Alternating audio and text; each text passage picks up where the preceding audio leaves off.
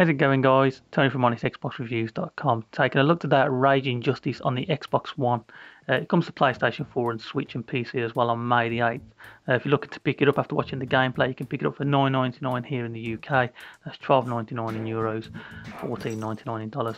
With the game also having a 10% discount during launch week as well. Uh, in terms of the game, I've probably got a couple of afternoons in this so far, so kind of like I guess six, seven hours in total. Kind of had an issue with it very early on with a corrupt save, which was kind of my fault more than the game, so can't really punish it on that.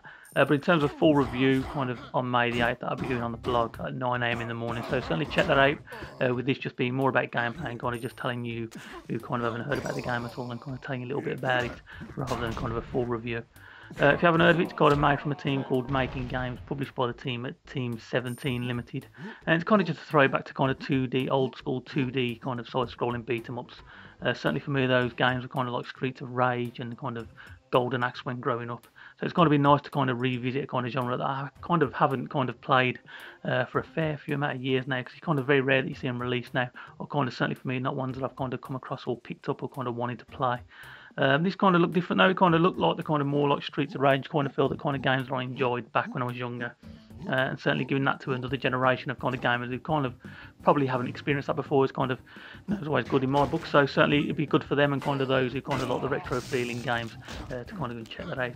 in terms of the game itself, there's two modes for you to play. You've got kind of a campaign which kind of lets you play one of three characters uh, kind of all got different special abilities. Uh, if you play kind of Streets of Rage, you know the kind of deal. Uh, they've all got their own special abilities, and you kind of work for a set amount of levels. With the story being that the mayor's gone, you know, got been kidnapped, and you've got to go and rescue him.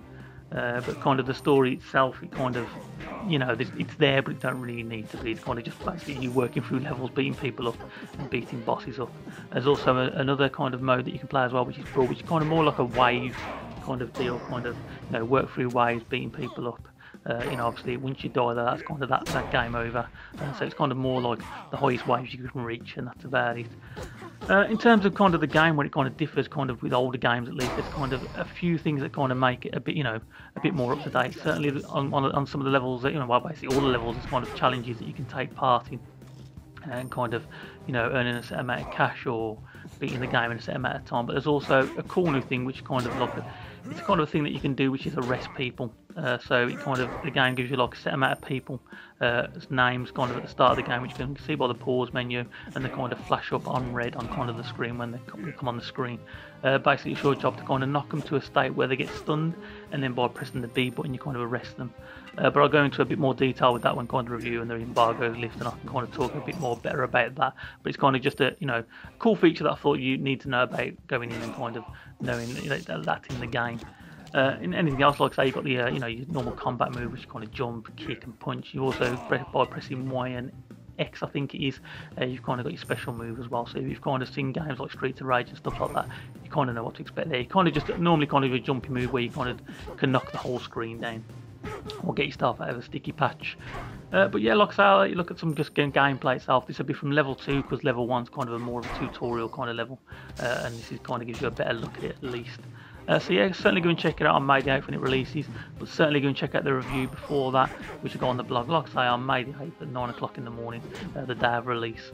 Uh, so yeah, just thanks for watching, hopefully I'll be back again soon with another video, I know it's been a long time since I've done one of these, uh, hopefully want to do a bit more of this, so kind of, this is kind of one side I kind of enjoy more doing, but it's kind of harder to get to do, uh, but it's kind of, it's weird because it's hard to do. You know, it's quicker to do and kind of just talk to my phone and put some gameplay up and show you what you need to see, uh, than sit there and type it for three hours on my laptop uh, and doing all that kind of stuff. But it's kind of hard to do with the family in the house kind of stuff. I've explained that enough times before, so I'm not going to go into it.